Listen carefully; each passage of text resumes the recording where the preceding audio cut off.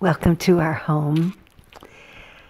So, I have two stories, and it's Halloween time, and it's also the day after Halloween, November 1st, is, is called the Day of the Dead. And um, I mean, personally, we don't actually celebrate that holiday that much. We more honor the our ancestors throughout the year, but there's such a strong um, Spanish and Mexican culture where we live, and it is called. Oh, Dia de los Muertos, Day of the Dead. Yeah. Yeah. yeah. So we wanted to um, to honor that that holiday and that that celebration, and just to to honor how our ancestors and and those who have passed on before are are still helping us and are still present in our in our lives in in very very very beautiful ways. So the first story is about a woman named Mrs. Woods. Lois. Lois Woods, but we called her Mrs. Woods. And she wasn't an ancestor, she was a neighbor actually. And when we were 29, I was pregnant we were pregnant with our first child and we were trying to find a place to live. And we came to look at this one rental house and we looked at it and we're like, oh, it's I don't know. It it was kind of falling. There was a lot falling falling apart about it, and we decided to leave. And as we were getting in the car, Mrs. Wood showed up, and she said, "Oh, I know that that house isn't very much, but but you should see the piece of land. And she, she pointed, she said, that is, that is so beautiful. You could walk on that every day and, and pretend that was your, that was your home. It's, it's so special. So we did. It was just extraordinary, beautiful, beautiful piece of land. And, um, yeah, so we loved it so much. We tried to we tried to buy it, and the owner kept saying, "No, no, no, no. It's a very valuable piece of land." And and and he but kept. It was actually even just just because we walked on the land that we decided to rent the old house. Right. Yeah. Right. Yeah. That was the reason. And he he kept. He said, "Well, if you want to buy it, it's this X amount of money," which was extraordinary. I mean, just huge so out of the out of the question. So we, we never we never could buy it. And Mrs. Woods was always upset because she said, "You that piece of land should belong to you." Um, she always wanted us to be able to buy it. Um, in order to get to that piece of land, we had to to cross on the trail just a little bit of of their property. And one day, because as I walked, I walked there every day. One day I was walking and I saw Mrs. Woods, but it wasn't Mrs. Woods in her physical body. It was it was Mrs. Woods in her in her light body. I've never seen anything like that ever in my life.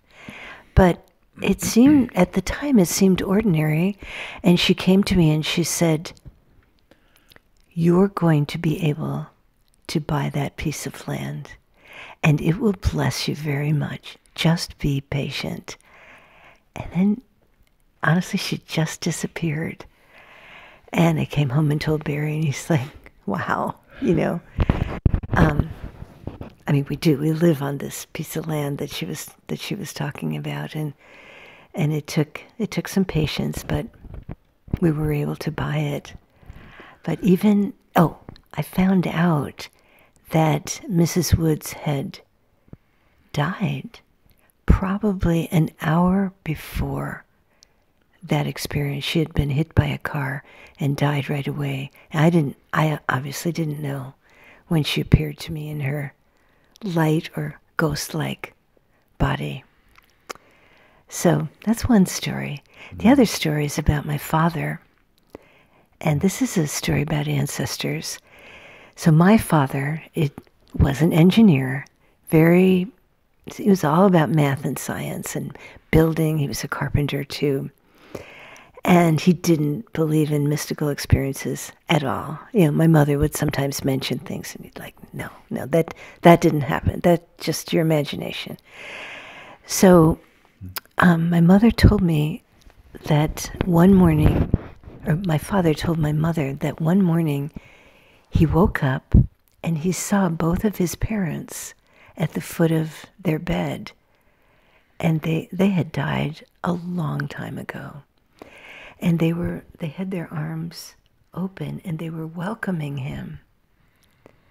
He just looked at them for oh it was a short time but it was an amazing experience for him. And as soon as my mother woke up he told her about it. He said my mom and dad were there and they were wel- welcoming me somewhere they were welcoming me and she she thought oh that was a beautiful experience. My father died the next day. And so we feel his, his parents came early to prepare him and welcome him. I think both those stories are so beautiful.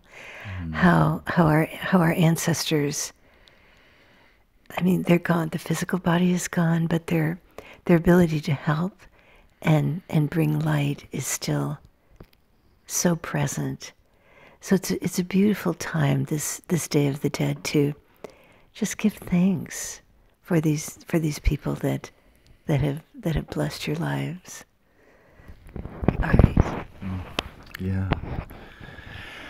Wow. So, um, what I would really love all of us to do, those of you who are watching, you know, just to take a moment, close your eyes, and and just open to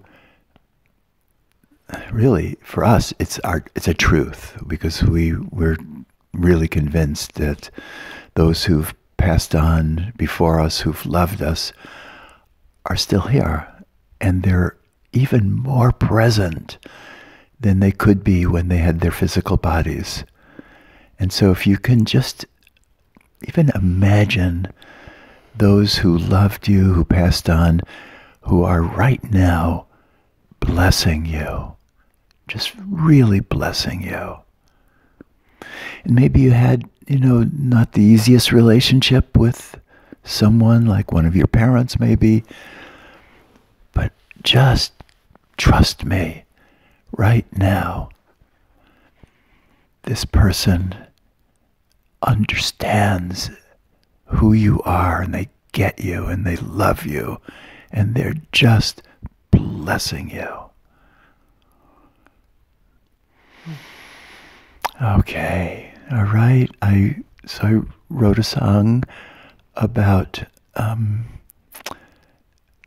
well, really, it's it's all those who love us and are here, are here with us.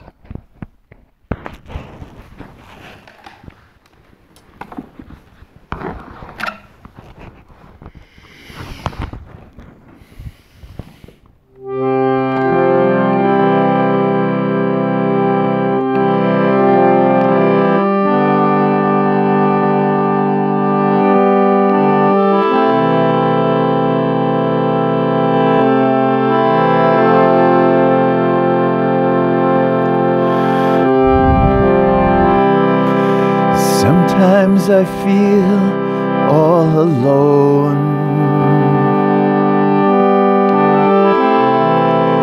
With no one to help me.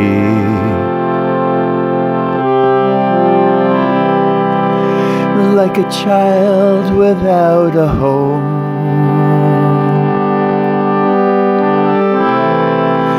With no comfort near me.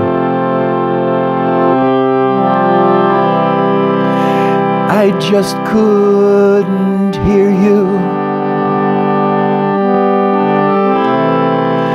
You seemed so far away.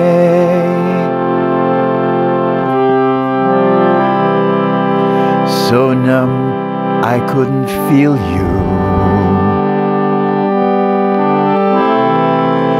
I didn't know you're here to stay. But you're here all the time. Here with me all the time.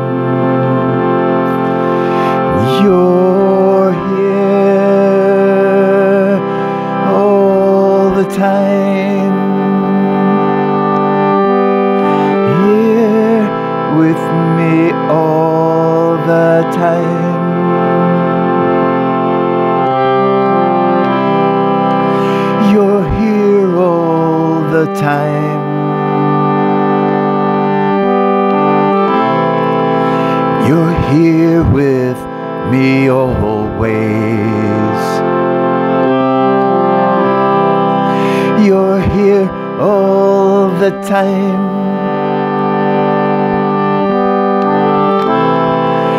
You're here with me always. You're here all the time. Here with me all the time.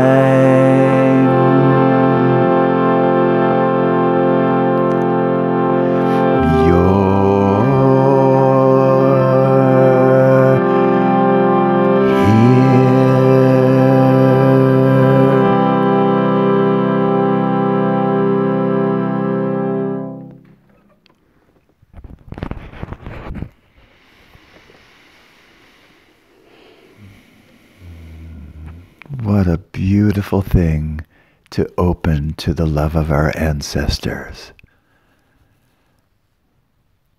to the love of those who've passed before us, some of whom are really shining lights, having done a lot of work in this life, but all, all of whom dearly love us, dearly love us. If we can just open, so much love is there for us. Can't see them. They're not wearing their physical bodies. We can't always have the experience like Joyce had of seeing a being in a light body, but we have to trust that they're there. All right. Mm, mm. Keep opening, keep thanking, and keep feeling all the love around you. Uh, so we